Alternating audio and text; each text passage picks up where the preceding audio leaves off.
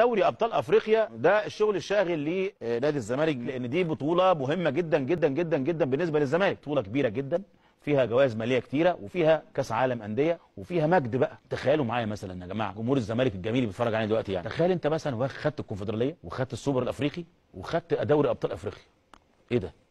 إيه إيه يعني إيه بعد كده يعني؟ ده انت كده تبقى انت وصلت الم...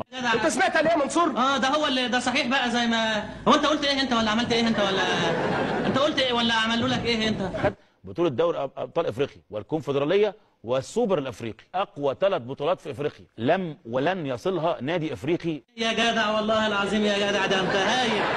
والله العظيم يا جدع والله. و... انت انت جرالك انت سافرت بلاد بره ولا عملت إيه؟ انت ولا رحت فين يا تخيل بقى كده. فأنت بتتكلم في نادي هيخش بقى منطقة تانية البطولات القارية. وفيها مجد بقى. يعني نعمل إيه؟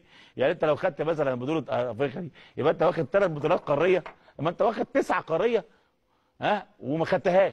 ده أنت وصلت يا جدع. والله ألف مبروك يا مرسي. والله العظيم ثلاثة والله ده أنت المفروض ما تقعدش معانا بقى. تروح تقابل الناس اللي اللي جاية من بره دي وتقول لهم على الكلام اللي هم مش عارفينه. والله العظيم ألف مبروك.